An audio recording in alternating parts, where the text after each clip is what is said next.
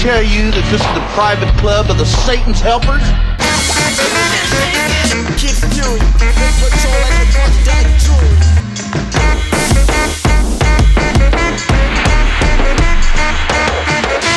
It's off limits! I say, kill him. I say we hang him, then we kill him.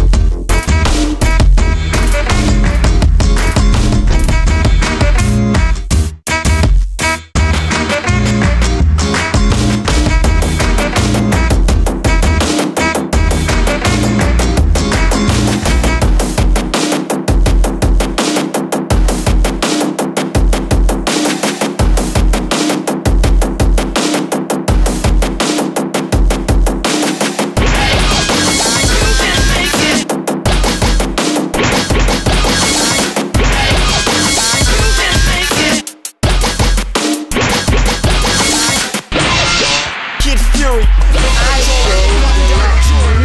Have him first.